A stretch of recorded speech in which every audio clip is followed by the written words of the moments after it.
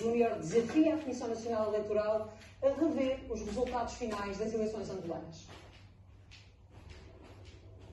Parece ser uma inversão no discurso da UNITA após um longo encontro com Marcelo Rebelo de Sousa em Luanda.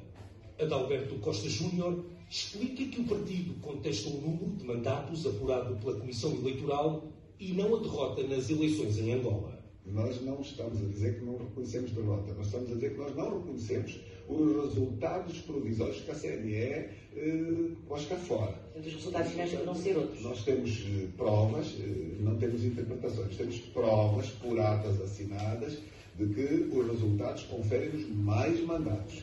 O líder da UNITA insiste que as atas eleitorais revelam um número de mandatos para o partido acima do anunciado e confia numa revisão dos resultados finais apurados pela Comissão Nacional Eleitoral.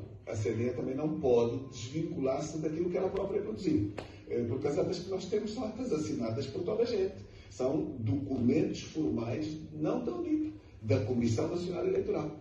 Eh, assim, não é possível, em circunstância alguma, a CNE refutar-se eh, a assumir o resultado do voto.